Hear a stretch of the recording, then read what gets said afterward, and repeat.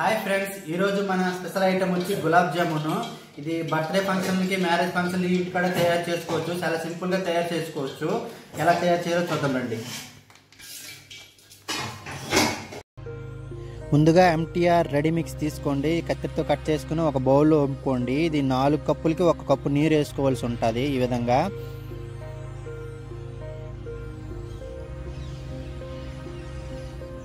ఇది చూడడానికి ఎలా ఉంటుందంటే పాల పౌడర్ మాది ఉంటుంది. పాల పౌడరే కదని తినేకండి.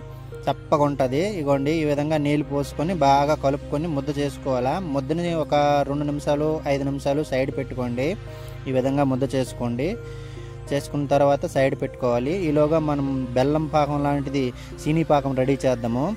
దానికోసం నేను కొద్దిగానే నీళ్ళు తీసుకున్నాను. ఎక్కువైతే సీని ఎక్కువ అవుతుంది ఈ విధంగా నీళ్ళు తీసుకొని దాంట్లో కొంచెం పంచదార వేసుకోండి.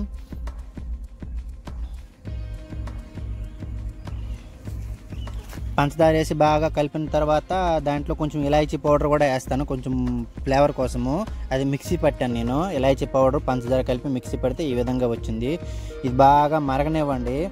మరిగినప్పుడు మీరు చూసుకోండి కొంచెం దగ్గర అవుతుంది మరిగి చల్లారిన తర్వాత చాలా చిక్కగా అయిపోద్ది అనమాట ఇది మరిగినంతసేపు మీకు తెలియదు పలచగా కనిపిస్తుంది.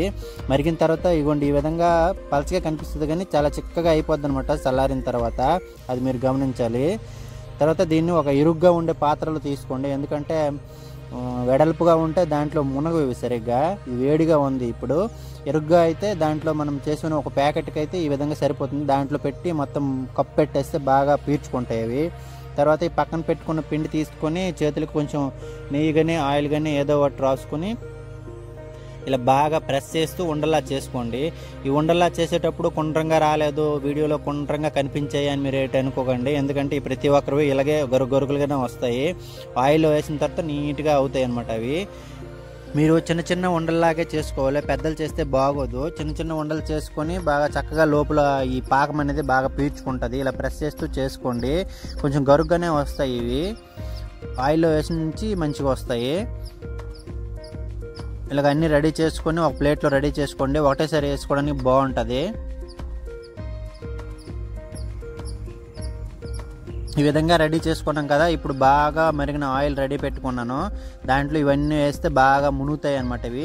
మునిగి బాగా బబుల్స్ అన్నీ పైకి తోలి బాగా ఉడుకుతాయి అనమాట ఇవి. ఈ విధంగా అన్నీ ఒకటేసారి వేసుకోండి. ఇవి బాగా నూనెలో డీప్ ఫ్రై చేసుకోవాలి మనం అంటే బాగా రెడ్ కలర్ వచ్చే వరకు దీన్ని బాగా స్విమ్మింగ్ చేయనివ్వాలన్నమాట నూనెలోనివి. బాగా తిరుగుతాయి అనమాట అటు ఇటు బాగా తేలుతాయి ఇవి. ఎక్కువ నూనె కానీ ఉంటే లేదంటే సరిగ్గా కనిపించవు. ఇవ్వండి ఈ విధంగా రెడ్ కలర్లో వచ్చే వరకు ఉంచుకోండి. రెడ్ కలర్లో వచ్చిన తర్వాత మనం రెడీ చేసుకున్నాం కదా వేడి వేడి పాకం సీని పాకం దాంట్లో డైరెక్ట్ వేసేయండి ఇవి. ఇదిగో ఈ విధంగా వేస్తే ఇవి ఇప్పుడు దీంట్లో బాగా జలకాలు ఆడుతాయి అనమాట జలకాలాడుద్దామా? ఆ విధంగా జలకాలు ఆడుతాయి అనమాట ఇవి. ఆడి బాగా ఇది అనేది పాకం అనేది బాగా పీల్చుకుంటాయి ఒక ఇరవై నిమిషాలు ముప్పై నిమిషాల పాటు బాగా విడిచిపెట్టేయండి ఇది. దీంట్లో టైట్గా కప్పు పెట్టేస్తాను ఎందుకంటే బాగా ములుగుతాయి అనేసి. కప్పెట్టేసి ఇరవై నిమిషాల తర్వాత బయట తీసేసరికి ఆయిల్ అంతా పీల్చుకొని బాగా బాగా ఉబ్బినాయి ఇవన్నమాట. మనం చాలా చిన్నలు చేసుకోవాలి? పెద్దలు చేస్తే బాగోదు. నేను చిన్నలు చేసినా కానీ ఇది పెద్దది వచ్చింది దీన్నే ఫస్ట్ దీన్ని పొట్ట కోద్దాము ఏ విధంగా ఉందో చూద్దాము. దీంట్లో చూడండి తీసేటప్పుడు పల్చగా కనిపించింది పాకము. ఇప్పుడు చూడండి ఏ విధంగా కనిపిస్తుంది అది. అదిగోండి ఈ విధంగా వస్తుంది అని. మీరు పాకంలో కన్ఫ్యూజ్ అవ్వద్దు. కొంచెం తీసేటప్పుడు పల్చగా ఉంటుంది. తర్వాత చల్లారిన తర్వాత దిబ్బగా అయిపోద్ది అనమాట అదే జారుగా అయిపోద్ది. చూడండి పెద్దలు చేసుకుంటే కొంచెం బాగా మధ్యలో కొంచెం అనేది ఈ విధంగా కొంచెము ఆయిల్ అనేది పేర్చవు. నేను కొంచెం ఇంకా బాగా ఒక థర్టీ మినిట్స్ ఎబోవ్ ఉంచాను. అప్పటికి ఇది కొంచెం బాగా పట్టింది. ఇంకా చిన్నలు చేసుకుంటే బాగా వస్తాయి అన్నమాట ఇవి. చూడండి వేడి వేడిగా గులాబ్ జామ్ రెడీ అయిపోయింది. ఇప్పుడు బర్త్డే సెలబ్రేషన్స్కి మ్యారేజ్ సెలబ్రేషన్స్కి అన్నిటికి ఇది వేసేయవచ్చు. ఈ విధంగా ఇంట్లోనే ఈజీగా తయారు చేసుకుని పిల్లలకు పెట్టండి. చాలా ఎంజాయ్ చేస్తూ తింటారు.